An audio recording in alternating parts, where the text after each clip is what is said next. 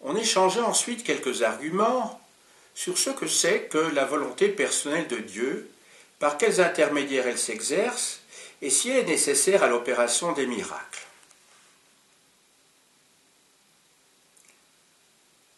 Le vent était certainement moins que jamais la liberté d'opinion. Zénon ajouta même, rendant à l'évêque sa politesse dialectique, que dire d'une apparition qu'elle est tout entière dans l'imagination ne signifie pas qu'elle soit imaginaire au sens grossier du terme. Les dieux et les démons qui résident en nous sont fort réels. L'évêque fronça le sourcil au premier de ces deux pluriels, mais il était lettré et savait qu'il faut passer quelque chose aux gens qui ont lu leurs auteurs grecs et latins. Déjà, le médecin continuait en décrivant la solliciteuse attention qu'il avait de tout temps portée aux hallucinations de ses malades le plus vrai des êtres, s'il faisait jour, et parfois un ciel authentique et un véritable enfer. En matière de doctrine, l'accusé fut aussi agile que peut l'être un homme ligoté de puissantes toiles d'araignée. La question de l'infinité des mondes préoccupait plus particulièrement les deux théologiens appelés en qualité d'auditeurs. Disputa longuement si infini et illimité signifie la même chose.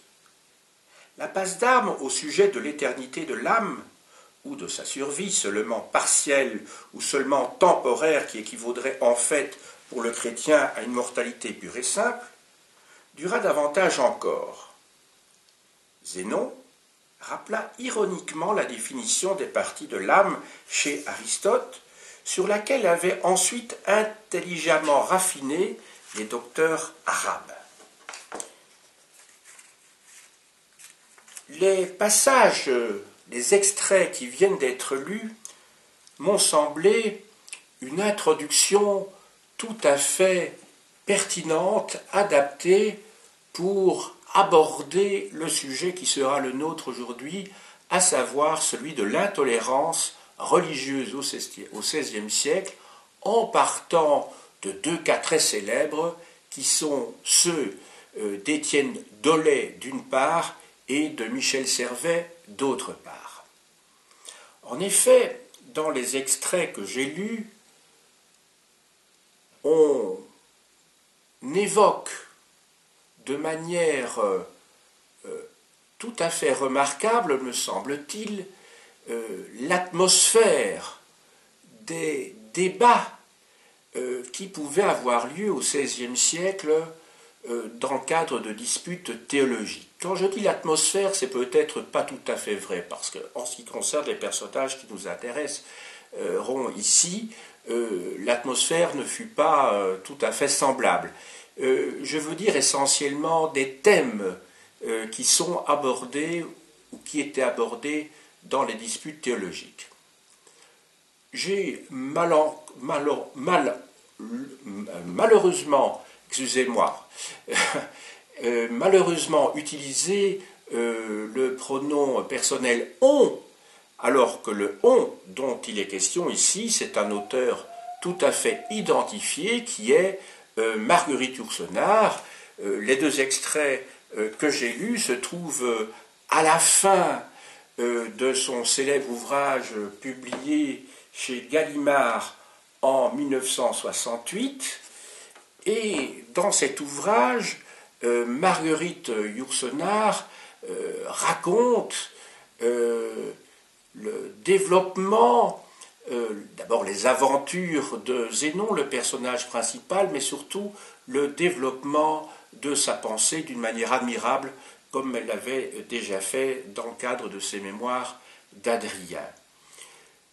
Euh, L'œuvre noire fait évidemment référence à une thématique symbolique euh, liée à la recherche de la vérité, à l'alchimie, et le personnage de Zénon s'inspire entre autres choses de Michel Servet, euh, dont je vais vous parler tout de suite.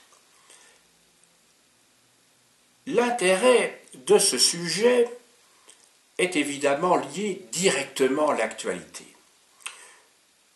Nous vivons une époque où des ayatollahs de tout genre euh, s'agitent. Euh, inutile, je crois, de parler euh, de l'État islamique. Faut-il évoquer la récente entrée en fonction de Donald Trump qui est en train de signer toute une série de décrets en fonction d'une vérité autoproclamée? Je ne parle pas ici du tout du point de vue des républicains qui est honorable et qui se défend.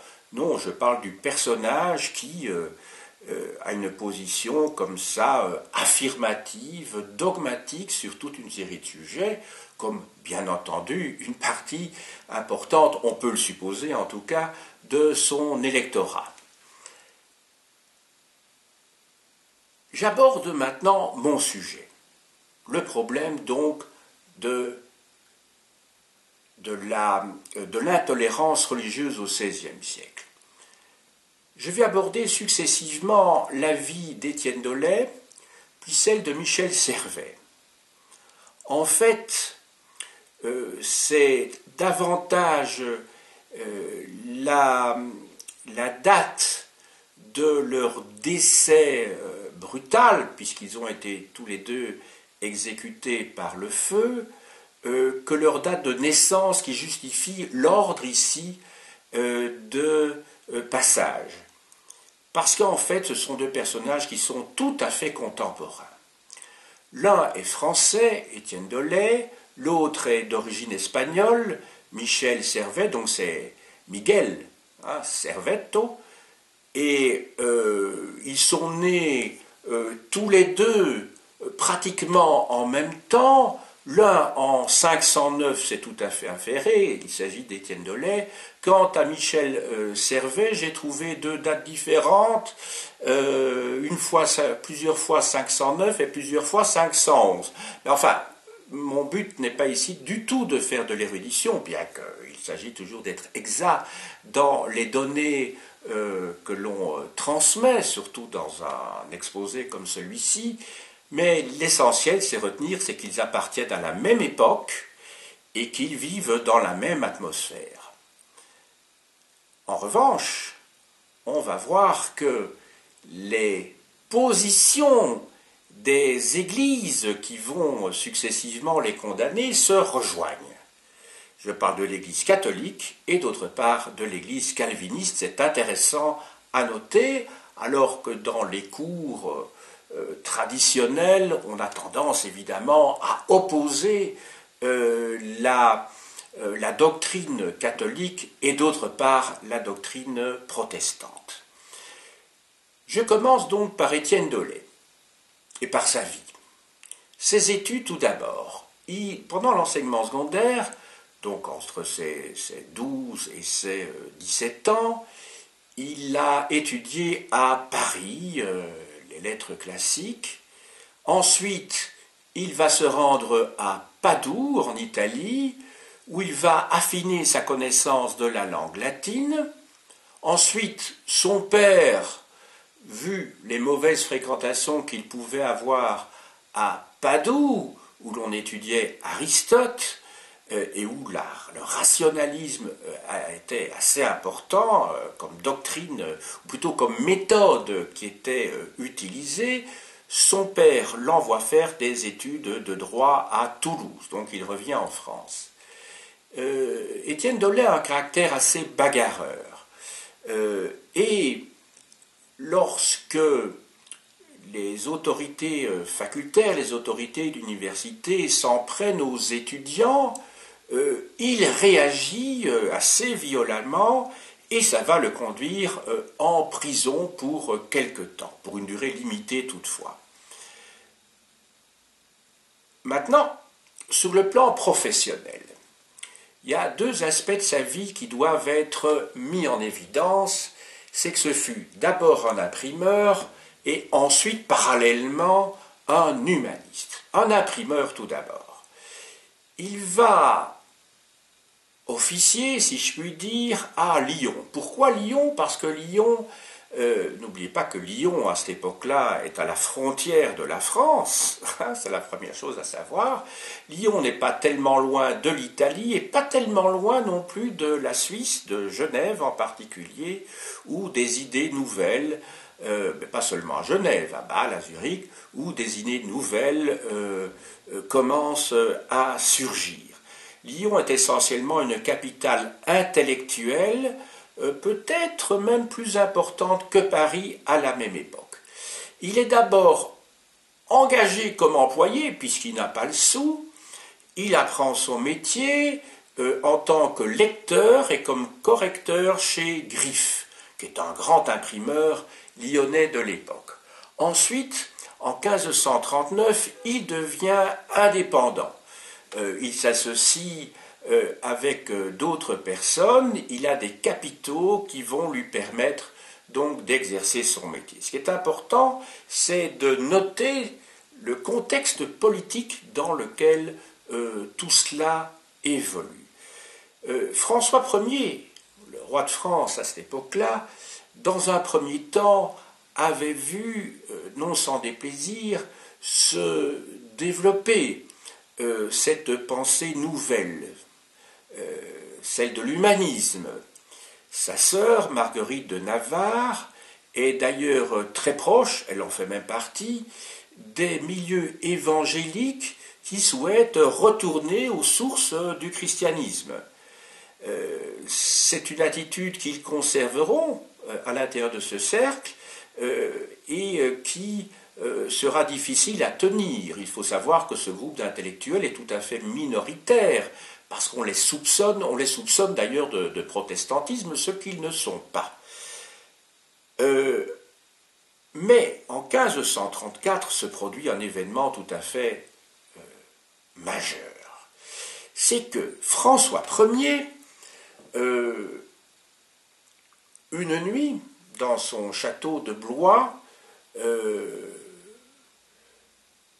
voit euh, affiché, en tout cas lorsqu'il se réveille le lendemain matin, sur sa porte un placard dénonçant la messe catholique romaine. Euh, c'est ce qu'on appelle donc l'affaire des placards. Les placards, en fait, ce sont donc euh, des, des, pamphlets ou des documents officiels, par ailleurs. Ça dépend l'usage qu'on en fait, le contexte dans lequel ils sont apposés. Euh, euh, donc s'il s'agit de pamphlets où l'on dénonce quelque chose, s'il s'agit de documents officiels où des mesures euh, sont annoncées. C'est le terme placard existe toujours, comme vous le savez, à l'heure actuelle. la législation va se préciser très rapidement. En 1535, toute nouvelle impression va être interdite, et en 1540, la Sorbonne va rédiger, avec obligation de euh, le respecter, un formulaire de foi. Elle va publier également un index des livres interdits. Donc, avant, euh, je dirais, le Concile de Trente qui euh, se déroule entre 1545 et 1563 et qui marque vraiment le moment central et initial de la contre-réforme. Étienne Dollet, à ce moment-là, par prudence ou, euh, je dirais, euh, par indifférence, ne s'intéresse pas, en tout cas explicitement, aux controverses religieuses. À ce moment-là, je précise bien. Je vous ai dit tout à l'heure que Étienne Dollet est un imprimeur, mais ses activités d'imprimeur sont intimement liées à son intérêt pour l'humanisme. Alors de quoi s'agit-il? L'intérêt pour l'humanisme euh, a une double entrée. Première entrée, c'est celle euh, du culte de l'Antiquité classique euh, et culte de l'Antiquité classique qui est justifié pas seulement par euh, la pureté de la langue latine que les humanistes veulent restituer, mais surtout parce que cette langue latine supporte la pensée des anciens qui, à leurs yeux, est supporte une morale sage qu'il s'agit de redécouvrir. parmi les valeurs défendues par les auteurs classiques, en tout cas euh, cherche à les y retrouver, et il les retrouve effectivement, ces valeurs, ce sont celles de la justice, de la vérité et de la connaissance de soi. Euh, ça va le conduire à publier, d'ailleurs un ouvrage tout à fait remarquable qu'il va écrire pendant près de 12 ans, euh, qui sont ses commentaires sur la langue latine, donc Commentarii Latinae Linguae il va, en tant qu'imprimeur, puisqu'il est devenu indépendant euh, depuis 1539, euh, il va éditer Cicéron, il va éditer Virgile, il va éditer Terence, il va même éditer également le médecin euh, Galien. Il va traduire aussi Cicéron. Il va publier la traduction française aux yeux de l'Église, évidemment, ce n'était peut-être pas une bonne idée, mais justement, c'est ce qui fait l'intérêt euh, d'Étienne Dollet. Il va publier la traduction française de la Bible qu'en avait donnée Lefebvre d'Étaples. Euh, il va euh, publier, et alors là, c'est l'autre aspect, je dirais, de l'humanisme. Il va publier Clément Marot, il va publier également le Gargantua, le Pantagruel de François Rabelais. Euh, qui sont des ouvrages sulfureux à cette époque-là, qui sont mis à l'index d'ailleurs. Donc, quand je dis les deux pendants de l'humanisme, c'est que d'une part, l'humanisme cherche à restituer euh, et à étudier la langue latine euh, originale, originelle, et d'autre part, les humanistes français, mais pas seulement français, essayent parallèlement donc d'étudier et de mettre en avant euh, la langue française, une nouvelle langue française débarrassée des scories euh, de la langue française du Moyen Âge. Le personnage évidemment le plus célèbre dans ce cas, qui a même publié un véritable manifeste en 1549, c'est évidemment euh, donc, et je vous montre cet ouvrage dans une édition de poche, c'est la défense et illustration de la langue française, euh, dans le texte original ici de Joaquin du Bellay, euh, publié ici, c'est une édition à 3 euros, une petite édition récente, ça coûte rien du tout, qu'il faut lire, me semble-t-il, parce que c'est vraiment un document euh, essentiel et une étape importante dans l'histoire de la langue française. C'est publié aux éditions Mille et une nuits. Euh, voilà. Donc j'ai restitué l'ambiance intellectuelle dans laquelle vit Étienne Dollet. J'ai fait état de ses principales activités professionnelles et intellectuelles, donc qu'il mène parallèlement, les deux et d'ailleurs étant étroitement imbriqués euh, l'une dans l'autre, il s'agit donc d'une part euh, de son métier d'imprimeur et d'autre part euh, de sa passion pour l'humanisme, puisque lui-même est à proprement parler un humaniste, puisqu'il met l'homme au centre de ses préoccupations et au centre de sa morale.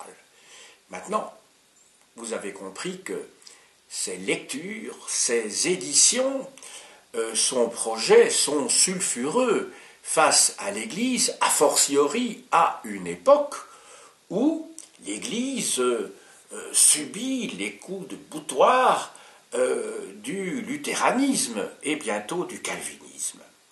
C'est la raison pour laquelle Étienne Dollet va être arrêté. Il sera arrêté deux fois, une première fois en 1542, une seconde fois en 1544 et deux procès, donc successifs, euh, vont le mener euh, à la mort, puisqu'il sera dans les deux cas condamné à mort, sauf que la première fois, la sentence n'a pas été exécutée, puisqu'il avait fui, mais la deuxième fois sera la bonne ou la mauvaise, euh, si je puis dire, puisqu'il va effectivement être exécuté en 1546. De quoi est-il accusé lors de sa première arrestation, donc en 1542. Il est accusé d'hérésie et d'athéisme. Il est accusé euh, pourquoi? Eh bien parce que il y a un certain nombre de faits, mais ces faits ne sont pas proprement parlés euh, prouvés, euh, qu'il est négligent dans sa pratique de catholique, il ne n'irait pas systématiquement à la messe, il mangerait de la viande pendant le carême, ça c'est la première chose, mais alors au niveau de ses idées, et c'est là surtout que l'on va l'avoir au tournant, c'est qu'il a publié des livres hérétiques, puisque je vous ai dit qu'il a publié euh, Lefebvre d'Étaples, hein, sa fameuse traduction de la Bible en français, et il a publié également Erasme. Or, Lefebvre d'Étaples et d'autre part Erasme sont des catholiques, mais des catholiques qui appartiennent à ce mouvement évangélique, hein, ce mouvement qui est sur le fil du rasoir entre le catholicisme orthodoxe d'une part et d'autre part euh, le catholicisme qui est en train de grandir à ce moment-là. Donc ils ont une position intermédiaire mais très difficile à tenir. En tout cas, leurs livres sont mis à l'index. Et c'est en grande partie, pour cette raison-là que donc dans son premier procès, euh, Étienne Dolay va être condamné. Donc il est condamné d'une part euh, pour ses mœurs qui sont condamnées parce qu'elles sont scandaleuses, et d'autre part sur le plan religieux, puisqu'il est accusé d'hérésie. Sa peine, c'est qu'il va être condamné à mort. En son absence, il va être condamné à mort par contumace. Et c'est son effigie qui va être brûlée, euh, mais tous ses livres également. Deuxième procès, deux ans plus tard, 1544. Le premier procès, effectivement, euh, excusez-moi, lors du premier procès, je me suis trompé, euh, il est libéré, mais ses livres sont brûlés. Ces livres sont brûlés. Alors ils sont brûlés parce qu'il a fait appel auprès de François Ier, mais avant que le Parlement n'accepte le rapport de force entre le roi et lui-même, cette cour d'appel, donc euh, ça va prendre du temps, évidemment, cette cour supérieure de justice. En 1544, les choses paraissent plus graves. Euh, on trouve effectivement deux ballots de livres qui porte très clairement le nom d'Étienne Dolé. Or, dans ces deux ballots, euh, on ne trouve pas de livres imprimés par Dolé. On ne trouve pas, enfin explicitement, hein, parce que pensez bien que à cette époque-là, il y avait beaucoup de livres qui étaient publiés sous le manteau, c'est-à-dire avec de fausses adresses euh, typographiques, avec de faux noms d'auteurs, avec euh, anonymement. Donc ça, évidemment, c'était une précaution élémentaire à prendre à cette époque-là. Euh, vous devez vous dire que l'ambiance était telle à cette époque-là que ben, c'est un petit peu comme... enfin, c'est comme dans toutes les dictatures. Euh, si l'on veut faire passer un message, on le publie euh, sous une forme euh, qui permette de ne pas vous identifier. Hein? Je ne dirais pas que ce sont des samizdates, mais enfin bon, ces, livres étaient publiés à l'étranger ou étaient publiés sur place, mais avec des fausses adresses, des, ouvrages publiés à Paris ou à Lyon, on leur mettait une adresse suisse ou une allemande de telle manière que on ne puisse pas, comme je vous le disais il y a quelques minutes, identifier euh, l'auteur. Euh, Étienne Dollet est arrêté, Étienne Dollet fuit, il est arrêté une deuxième fois et il est euh, condamné cette fois parce qu'il a publié un ouvrage Platon, mal traduit aux yeux des autorités, où l'âme, l'immortalité de l'âme est niée. Évidemment, c'est un cas euh, extrêmement grave qui va le conduire, donc il est accusé d'athéisme cette fois. Euh, Et d'autre part, il est accusé également pour les livres qui se trouvent dans ses ballots, sous une enveloppe, sous son nom, mais bon, il n'y a pas de preuve que lui-même les a édités. donc parce que ces livres sont censés avoir un contenu euh, lié à la religion réformée, c'est-à-dire euh, euh, à la religion calviniste.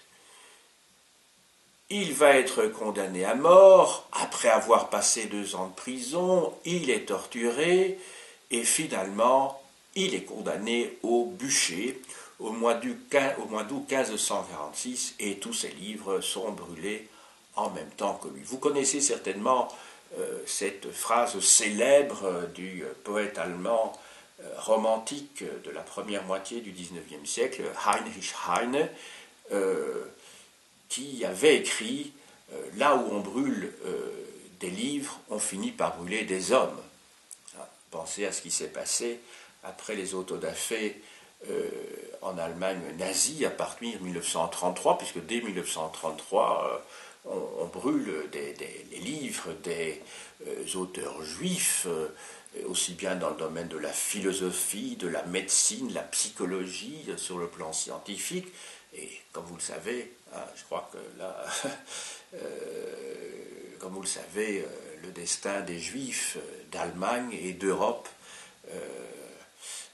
sera hélas extrêmement pénible, puisqu'ils vont puisque ce destin va les conduire euh, à partir de 1942 euh, euh, dans des camps d'extermination. Deuxième auteur dont je voudrais vous parler maintenant, il s'agit de Michel Servet, espagnol donc. Il est né en Aragon, je ne vous ai pas dit, mais Dolay était né à Orléans et a été brûlé place Maubert à Paris où l'on brûlait les imprimeurs hérétiques, euh, Michel Servet, lui, naît en Aragon et il va euh, être brûlé vif à Genève. Mais vous allez voir que les choses sont plus compliquées pour Michel Servet encore que pour Étienne Dolé.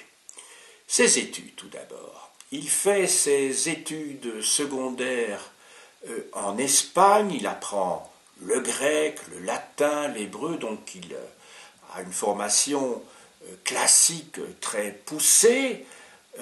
Son père était notaire, si je ne m'abuse. Il va faire des études d'abord de sciences à l'université de Saragosse, et puis il part, il part faire des études de droit à Toulouse, comme ça avait été le cas pour Étienne Delay. Toulouse, qui à cette époque-là euh, est un centre intellectuel contestataire, bien que ce centre soit dirigé par des, euh, des autorités académiques euh, catholiques fanatiques. Alors, quelles sont les activités intellectuelles et les activités professionnelles de Michel Servet? Mais il y en a trois. Michel Servet va devenir médecin il va être également, comme Étienne Dolay, imprimeur et surtout, il va s'illustrer euh, dans le domaine de la théologie. Nous allons commencer donc d'abord euh, sur le plan euh, de sa carrière médicale. Bien que ces différentes activités se chevauchent chronologiquement, moi c'est pour des facilités d'exposition pédagogique que je les distingue en fait, euh, il a commencé à écrire sur le plan pédagogique avant de faire la médecine, avant de faire d'être, de pratiquer la médecine, mais ici je présente les choses de telle manière qu'elles soient euh, intelligibles. Donc, il est praticien, il va euh, soigner des pestes, en particulier à Vienne, en France. le terme peste au XVIe siècle euh, ne renvoie pas à la maladie euh, connue par ses symptômes. Aujourd'hui, on parle d'épeste pour parler de toute une série de maladies euh, qui, comment dirais-je, se répandent dans la population et qui conduisent à avoir des fièvres et toute une série de symptômes. Ces pestes, il les combat, ces pestes qui concernent essentiellement d'ailleurs les classes populaires les plus défavorisées, les plus pauvres. c'est un médecin, mais c'est aussi un savant. Michel Servet a identifié euh, en par sa description euh, la circulation euh, pulmonaire. Il a montré également la transformation du sang veineux en sang artériel. Donc c'est un humaniste qui s'inscrit dans la lignée des Vésaldes, euh, et d'autres médecins célèbres du XVIe siècle, de ce siècle de la Renaissance, mais par là même, il prend des risques énormes, parce que la faculté, à cette époque-là, suit euh, des auteurs antiques, entre autres Aristote, entre autres, donc des auteurs qui font euh, autorité, que l'on est censé suivre euh, à tout prix, de même que la Bible en matière théologique ou même en matière euh, astronomique, comme vous le savez, vous savez les ennuis que, enfin, il ne les connaîtra pas parce qu'il va mourir assez tôt. euh, en 1542, Nicolas Copernic, et que son ouvrage va être publié un an après son décès. Mais enfin, en tout cas, vous connaissez certainement le procès de, de Galilée, qui, ça, ça se situe au siècle suivant, qui a dû finalement reconnaître que euh, la, Terre euh, était immobile et on lui attribue cette phrase sortant de son procès parce qu'il voulait sauver sa peau à ce moment-là évidemment c'est euh, ne pourrait si mauvais. Pourtant elle tourne cette terre pourrait si mauvais. Donc je reviens à mon point de départ. Donc il fait des découvertes qui sentent le soufre. Parce que là, il prend des positions innovantes et on peut dire que vraiment, euh, il est très sensible aux idées nouvelles, mais ici, c'est par l'observation, c'est par l'expérimentation qu'il découvre lui-même quelque chose. Et c'est en cela que, j'y reviendrai dans ma conclusion, que se pose le problème de la libre pensée. Voilà, qu'est-ce que c'est qu'être libre penseur? Je reviendrai sur ce sujet tout à l'heure il va euh, être euh, travaillé dans le domaine de l'imprimerie, où il va euh, être correcteur. L'imprimeur chez lequel il travaille va lui permettre de publier la géographie de Ptolémée avec des annotations. Et là aussi, ces annotations sentent le, le souffre. Parce que, bon, Ptolémée, c'était effectivement un des auteurs canoniques, mais à partir du moment où il a écrit dans ses annotations que euh, euh, la Terre sainte était une terre désertique et stérile, euh, ça allait évidemment contre l'image qu'en donnait la Bible. Et par conséquent, ça va lui attirer les foudres bientôt d'un personnage assez sinistre qui est Jean Calvin. Sur le plan théologique maintenant. Sur le plan théologique, Michel Servet a voyagé en Allemagne, il a voyagé en Suisse, il a voyagé en France. En Allemagne, il va, à cette époque-là, publier un ouvrage qui va, où il expose euh, ses positions antitrinitaires. Alors de quoi s'agit-il? Qu'est-ce que c'est que euh, l'antitrinitarisme? Alors, c'est, comme on peut le supposer, c'est une théorie selon laquelle il n'y a pas de trinité et l'on ne peut pas mettre sur le même plan les trois personnes euh, qui euh, font partie de l'unité divine telle que cela avait été défini en 325 au concile de Nicée, concile qui s'était passé sous la présidence et l'autorité de l'empereur Constantin. En effet, lors de ce concile de 325 à Nicée, il avait été décidé, in fine, que il y avait consubstantialité entre les trois personnes. vous savez, ce problème de la filiation, ce problème de la nature du Christ a agité les conciles pendant un siècle et demi, en fait. Hein. Il y a eu plusieurs conciles successifs et euh, cela a conduit d'ailleurs à l'expression euh, euh, querelle byzantine où on se dispute sur le sexe des anges, mais ici ce n'était pas le sexe des anges, il s'agissait vraiment de quelque chose d'essentiel aux yeux des chrétiens de l'époque. et là, pour lui, le Christ ne peut pas, donc, comment dirais-je, le Fils ne peut pas être mis sur le même pied que le Père et que le Saint-Esprit. Ça pose évidemment un problème majeur. Et l'on voit de manière souterraine, derrière ces positions antitrinitaires, que se dégagent, apparaissent euh, les, des positions euh, panthéistes. Le panthéisme, le panthéisme, en fait, c'est une doctrine, une théorie, disons plutôt, ce n'est pas une doctrine, c'est une théorie selon laquelle euh, Dieu est partout et en tout. Et Calvin va donc, d'ailleurs, dans ses arguments contre Michel Servet, dire Mais enfin, qu'est-ce que c'est que cette histoire hein, euh, Lorsque l'on trébuche sur une. Euh, sur, j'allais dire, une, une, saleté sur le sol, on n'est pas en train de fouler Dieu à ce moment-là, quand même. Donc il y a quelque chose qui ne tient pas la route. Et donc c'est inacceptable.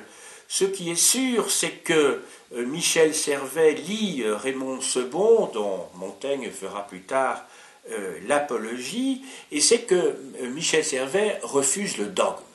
Il refuse le dogme parce que c'est un rationaliste. Alors évidemment, le rationalisme n'est pas poussé jusqu'au bout. C'est un petit peu facile, évidemment, au début du XXIe siècle, de dire oui, mais enfin, bon, ah, ce n'est pas un libre penseur où nous l'entendons aujourd'hui, n'est pas tout à fait rationaliste. Mais sa méthode est quand même d'essayer de comprendre rationnellement un certain nombre d'idées, euh, de phénomènes, et qui euh, jusqu'alors étaient expliqués euh, traditionnellement par la Bible, par l'Église, qui étaient affirmées dogmatiquement, et qui devenaient donc des idées reçues que l'on ne pouvait pas remettre en cause. Donc ça demandait quand même plus qu'un certain courage.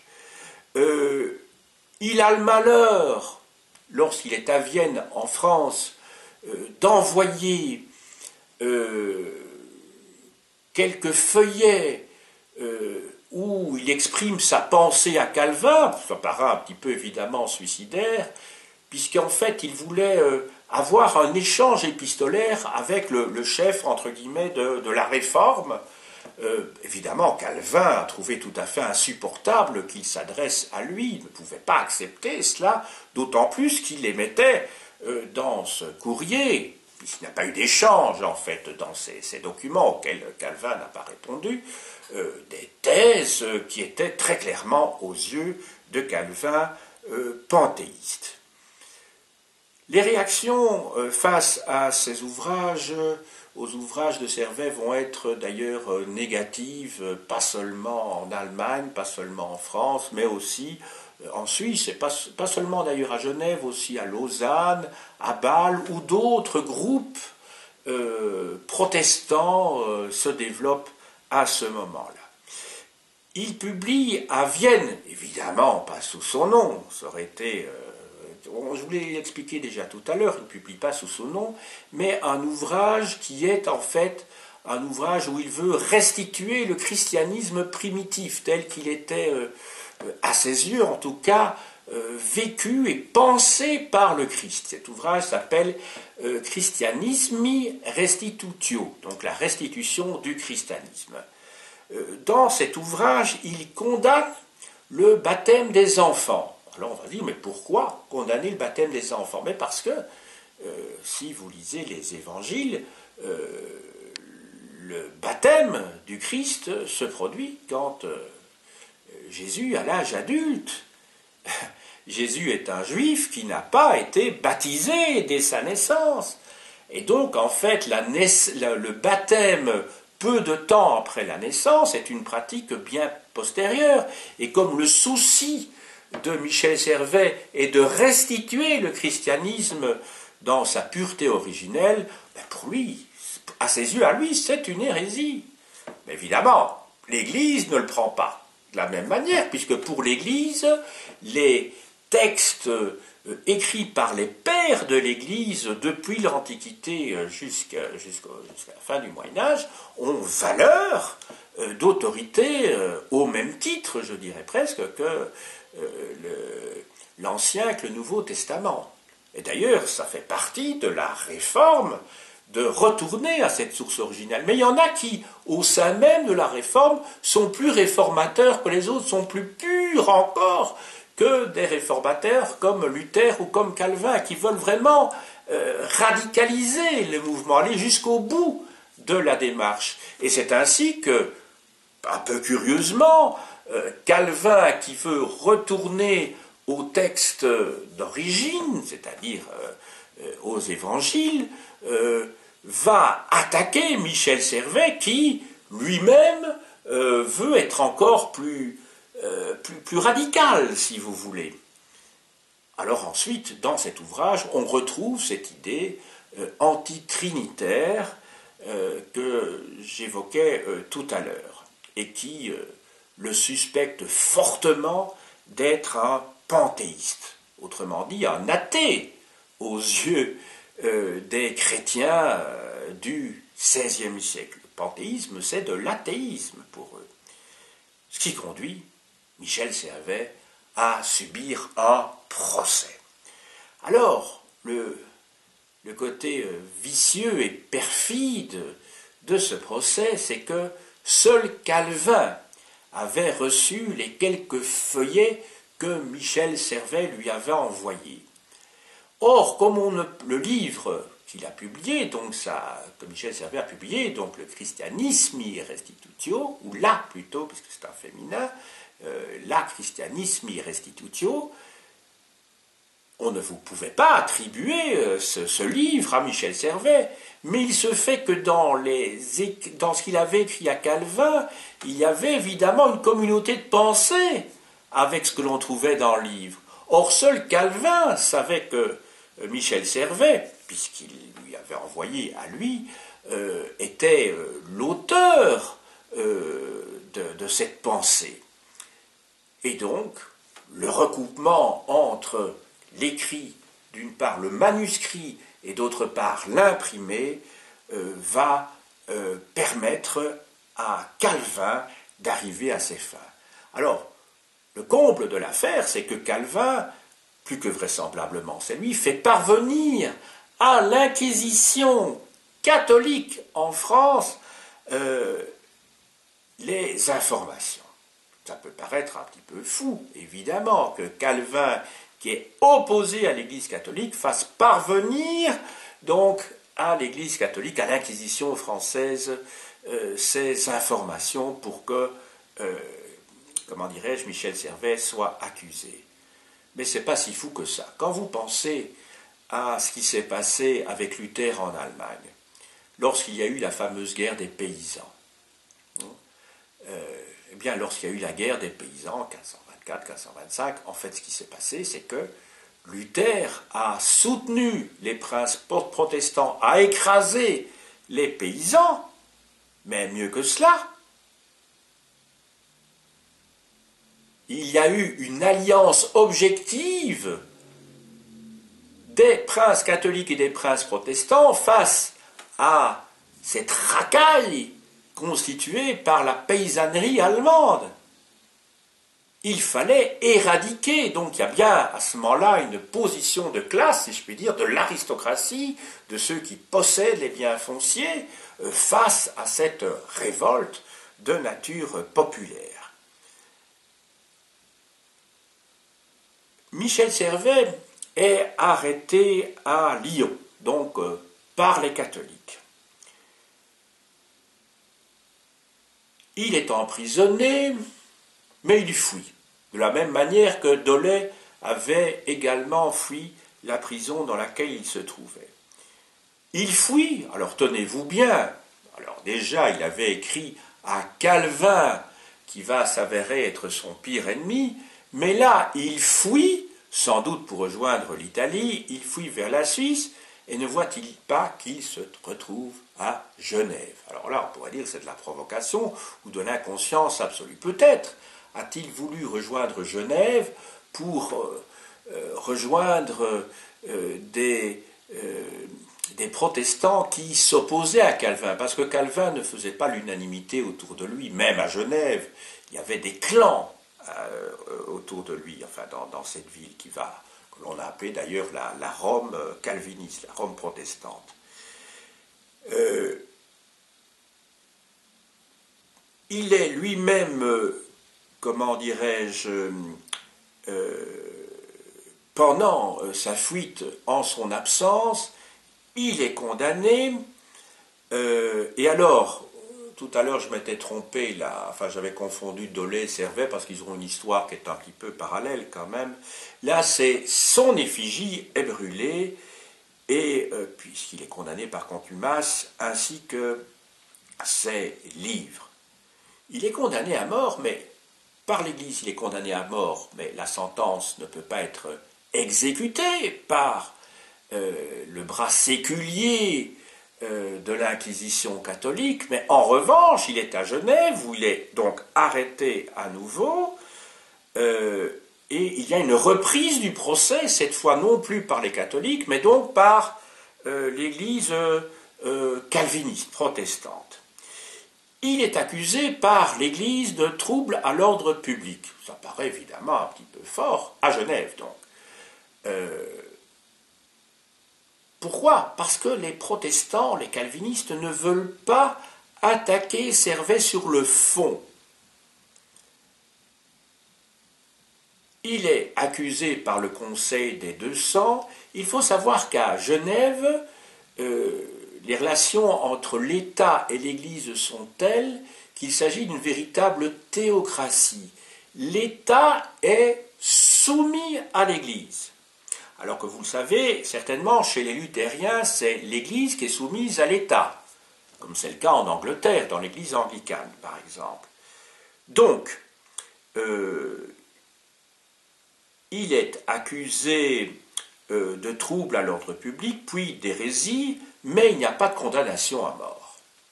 Alors pendant ce temps-là, Michel Servet publie, enfin publie, entendons-nous bien, il écrit un mémoire, pensez bien qu'il ne dispose pas d'une presse euh, dans sa prison, il, écrit un mémoire où il défend, la, liberté de conscience. Et ça, c'est quelque chose de tout à fait neuf. Il défend la liberté de conscience et écrit que donc des positions que théologiques que l'on peut tenir ne doivent pas conduire à des persécutions et donc à une condamnation à mort. Ça ne va pas. Pensez bien que c'est tout à fait révolutionnaire pour l'époque, hein, où euh, des bruchés comme ça euh, euh, apparaissaient un petit peu partout. L'épilogue de l'affaire, c'est que il est en prison, il est emprisonné dans des conditions extrêmement pénibles.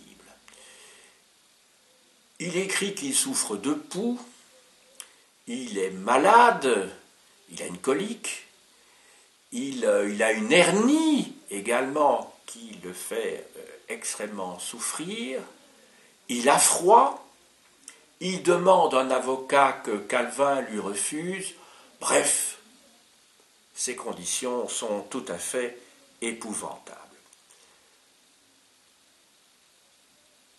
Le procès se poursuit et la sentence tombe.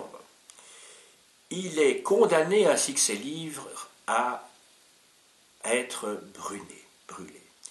L'objectif, et c'est écrit d'ailleurs dans euh, les attendus euh, du jugement, euh, pas les attendus, mais en tout cas le motif du jugement, c'est qu'il faut faire un exemple. Il faut faire un exemple pour que ce qu'il a fait ne puisse plus se reproduire. Autrement dit, pour que l'on ne puisse plus penser librement.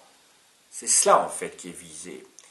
Les motifs de sa condamnation, c'est l'antitrinitarisme.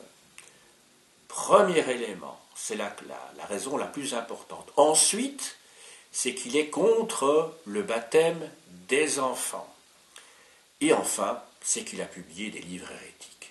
Donc ces trois éléments-là, donc antitrinitarisme, contre ensuite le fait qu'il soit contre le baptême des enfants, et enfin qu'il ait édité des livres considérés comme hérétiques euh, par l'Église catholique d'ailleurs, mais aussi par l'Église euh, protestante de Genève, ces éléments euh, sont des éléments accablants qui vont le conduire à son exécution au mois d'octobre 1553.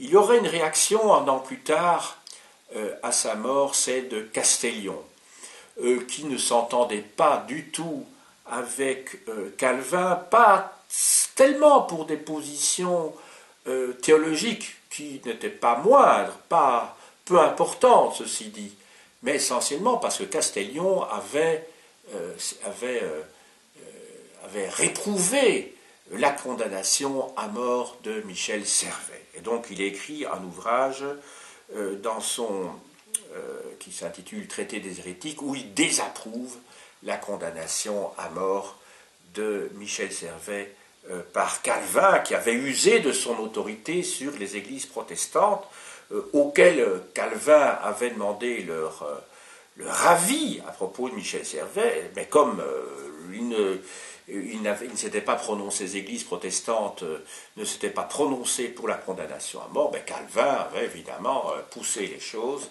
et usé de toute son autorité à ce moment-là pour que ce dernier donc Michel Servet, euh, connaissent une issue fatale. Maintenant, j'en arrive aux conclusions. Nous avons vu que, d'une part, Étienne Dollet et d'autre part, Michel Servet avaient eu des existences relativement parallèles. Ils sont tout à fait contemporains. Euh, ils ont subi tous les deux euh, des persécutions de l'Église catholique, dans le cas de Michel Servet, en plus de l'Église calviniste. Tous les deux ont fait preuve d'un très grand courage. C'étaient certainement des gens qui étaient mus par un grand idéal humaniste. Euh, la grosse question qu'on peut se poser, c'est évidemment, et j'ai déjà annoncé tout à l'heure, étaient-ils des libres penseurs? Alors, lorsque l'on lit la littérature euh, des associations de libre pensée, ou si on lit euh, les ouvrages qui ont été publiés sur ces auteurs sous la Troisième République en particulier, donc à la fin du XIXe siècle et au début, dans la première moitié du XXe siècle, on voit, ou il est dit plutôt, il est écrit que ces auteurs, que ces, deux personnages ne sont pas des libres penseurs. Parce que libre pensée est synonyme d'athéisme. Ben oui, parce que dans les sociétés de libre pensée, ce sont des sociétés qui sont anticléricales, mais pas seulement anticléricales, elles sont anti-religieuses également. Et euh, toute leur énergie euh, consiste à se battre contre l'Église catholique. Et elles avaient des raisons de se battre contre l'Église catholique à cette époque-là. Mais quand on voit l'attitude d'Étienne Delay et de Michel Servet, il apparaît quand même que ce sont, pour leur époque, des intellectuels qui pensent librement.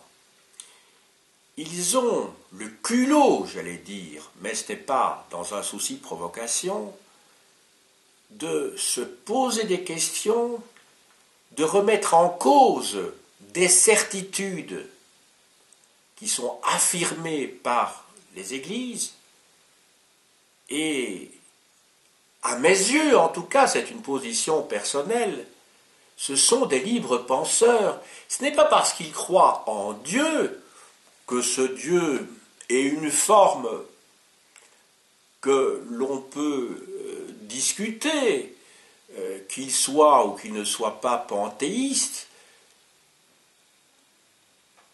il n'en demeure pas moins qu'ils ont pensé librement par rapport aux conditions de possibilité de la pensée de leur époque.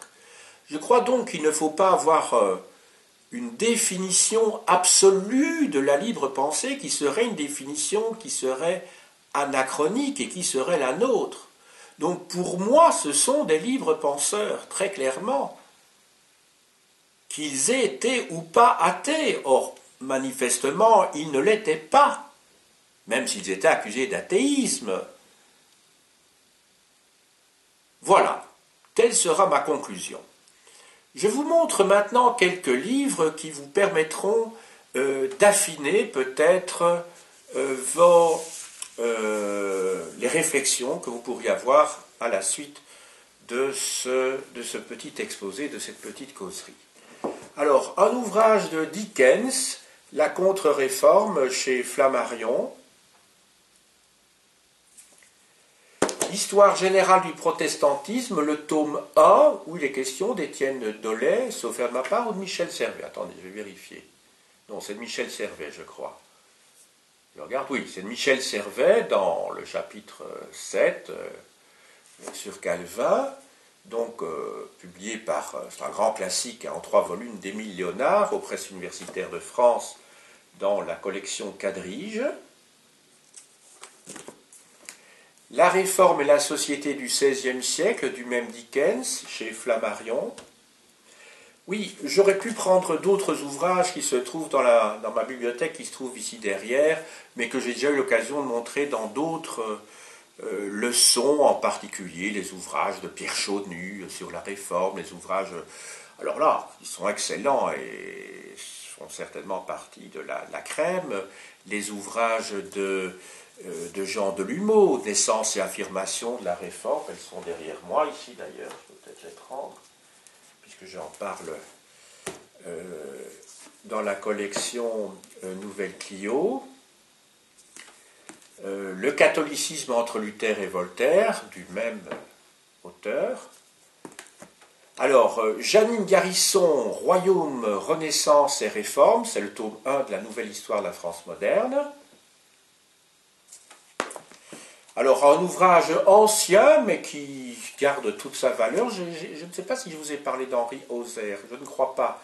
Mais euh, Henri Ozer a écrit euh, euh,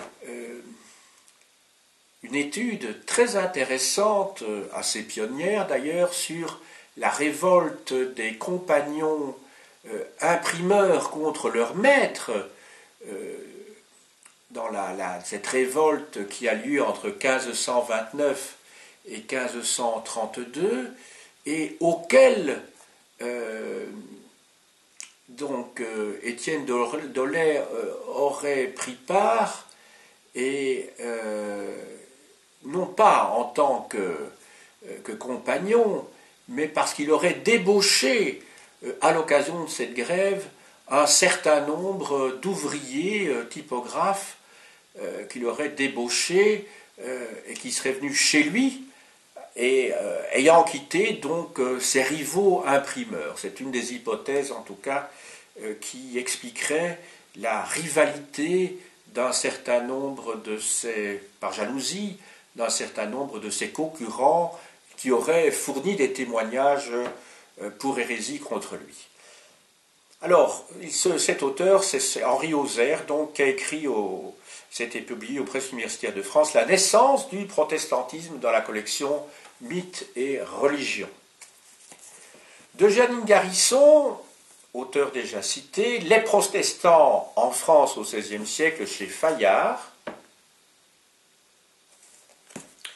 Euh, de Bernard Cotteret, une biographie sur Jean Calvin chez Jean-Claude Lattès.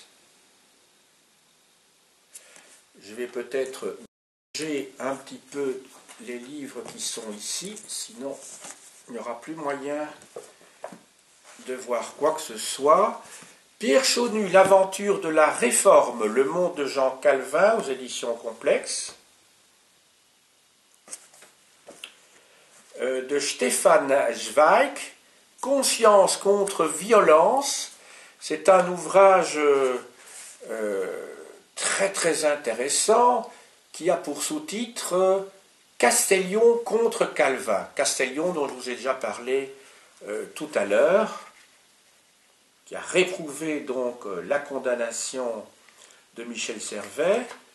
Euh, ça a été publié au livre de poche. J'ai apporté ici le tome 1 de l'institution de la religion chrétienne, 1536, des, des œuvres complètes de Calvin. Euh, de Saulnier, la littérature française, la Renaissance, que sais-je, de Lucien Fèvre et Henri-Jean Martin, l'apparition du livre dans la collection L'évolution de l'humanité chez Albin Michel, d'Elisabeth Eisenstein, La révolution de l'imprimé à l'aube de l'Europe moderne chez Pluriel, de Georges Minois, Censure et culture sous l'Ancien Régime. Ça couvre la période qui va du XVIe au XVIIIe siècle chez Fayard. Euh, athéisme voilé au temps moderne, ça va du XVIe au XVIIIe siècle, publié par l'Académie royale de Belgique. Alors un grand classique, Lucien Fèvre, le problème de l'incroyance au XVIe siècle, la religion de, Rabelais euh, chez Albin Michel, collection L'évolution de l'humanité. Du même Lucien Fèvre, au cœur religieux du XVIe siècle, il y a un article sur euh, Étienne Dollet, publié en livre de poche. L'Inquisition par Guy Testas et Jean Testas, que sais-je? Alors pour une période plus tardive, mais ça peut être intéressant de voir comment euh, les dossiers euh, de sorciers étaient traités par la justice en France au XVIIe siècle, donc c'est la thèse de Robert Mandrou, magistrat et sorcier en France au XVIIe siècle, une analyse de psychologie historique au seuil. Alors, euh, d'Henry Kamen, L'éveil de la tolérance dans l'univers des connaissances et Hachette. De Raymond Trousson, Histoire de la libre pensée des origines à 1789, publié euh, par les éditions du Centre d'action laïque de Bruxelles. Et enfin, publié par la Fédération nationale laïque des associations des amis des monuments pacifistes républicains et anticléricaux, autour de quelques grandes figures de la libre pensée en France, qui contient euh, des chapitres sur les différentes euh, figures, justement, les héros, les martyrs de l'Église, des églises plutôt, euh, depuis les temps modernes, depuis le XVIe siècle jusqu'au à la fin, jusqu'au XIXe siècle en fait, puisque ça couvre même les anarchistes euh, du XIXe siècle. J'ai dit.